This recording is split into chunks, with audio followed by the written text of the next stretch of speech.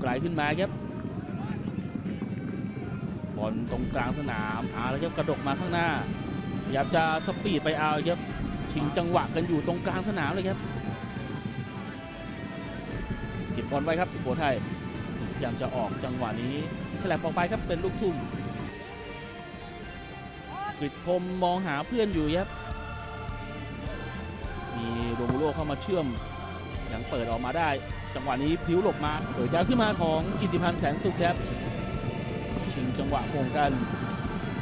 บอลกลับมาเป็นของขอนแก่นอีกแล้วครับของเมื่อสักครู่นี้ผู้ตัดสินให้เป็นบอลของขอนแก่นไปนะครับ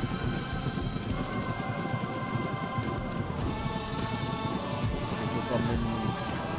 กีฬาที่หลังไปบอลของสุโขทัยครับจ่ายลูกนี้ไม่ดี เอามาเล่นต่อเลยครับ ดที่มาของสุโขทัยยังไม่แม่นครับเป็นการข้างกับกิจกรมหนึ่งปาทากันหาครับสุโขทัยตัดมาได้ แต่ว่าบอลมันไม่ต่อเนื่องครับของสุโขทัยคือมาให้กับขอนแก่นอีกครั้งหนึ่งยกมาพื้นที่ว่างโอ้โหว่างจริง ๆ ครับขึ้นมากันพึบแล้วครับสีส้มของสุโขทัยจากกรีดไหลมาลูกนี้โอ้โหไหลไม่ทงเพื่อนครับโดนสกัดทิ้งออกไป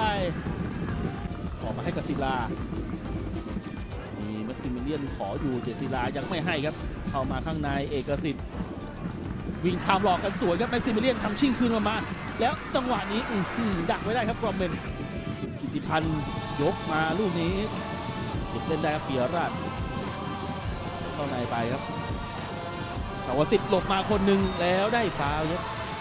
โอนิฟ้องจะเอาใบเหลืองเลยครับผู้ตัดสินก็ควักมาให้ตามคำขอครับโดยช่วงกรอมเมนครับรับใบเหลืองไปครับ กสั้นจะเล่นกับโรมูโรทำชิ่งกันแล้ว แต่ว่ามีตัวซ้อนครับสุโขทัยยิงคามหลอกจะทำชิ่งกันผู้ตัดสินเป่าฟาวให้ครับยิงกับหลังไปครับกรมเมนเดชาป่าเดชาไปช้าแล้วเสียให้กับสุโขทัยเอาเลยครับ โดนสวนแทงกลับมา แอดเมียบายโรวิดแต่ว่าต้องชมกรอมเมนยับถึงก่อนจิ้มทิ้งออกหลังไปเลย